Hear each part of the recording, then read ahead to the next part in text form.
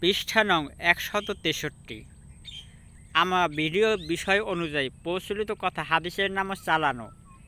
এই শিরোনামে একদম শেষ অংশ থেকে আলোচনা করছি।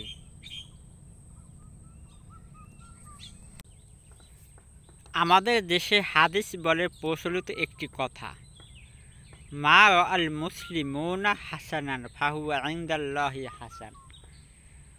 মুসলিমগণ যা ভালো মনে করবেন, তা আল্লাহর নিকট ভালো।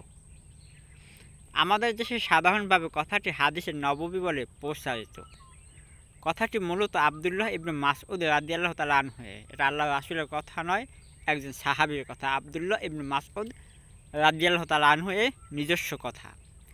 একে রাসুল্লাহ সাল্লাহ আলি সাল্লাম এর কথা হিসেবে বর্ণনা করলে তার নামে মিথ্যা বলা হবে, অর্থাৎ হাদিসের নামে মিথ্যা বলা হবে।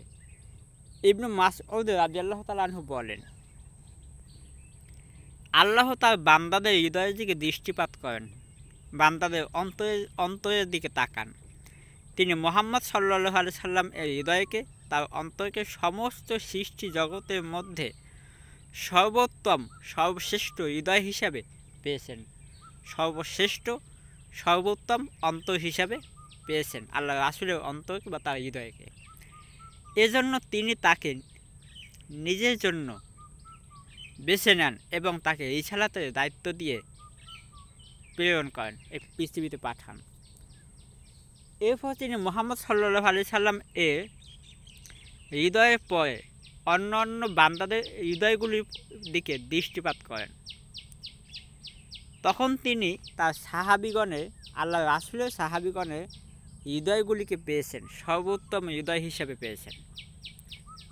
এজন্য তিনি তাদেরকে, অর্থাৎ সাহাবিগণকে তার নবীর সহস্র ও পরামর্শদাতা বানিয়ে দেন। তারা তার দিনের জন্য, সাহাবিগণ ইসলামের জন্য যুদ্ধ করেন। অতএব মুসলমানগণ যা ভালো মনে করবেন, তা আল্লাহর নিকটেও ভালো।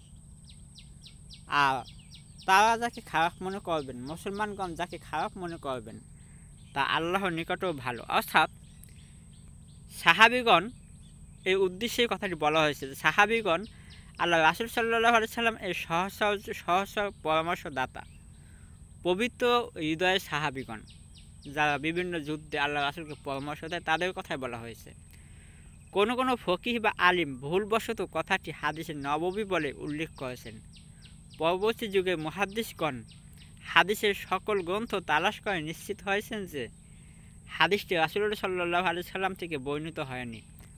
আল্লামা জাইলাই আবদুল্লাহ ইবনু ইউসুফ, ইবনু কাসির ইসমাইল ইবনু ওমা ইবনু হাজার আসকালানি আহমদ ইবনু আলী সাখাবি মোহাম্মদ আব্দুর রহমান অন্যান্য মহাদ্দিস উল্লেখ করেছেন যে হাদিসটি আবদুল্লাহ ইবনু মাসউদ রাজিয়াল্লাহ তালের কথা হিসাবে হাসান সনদে বর্ণিত।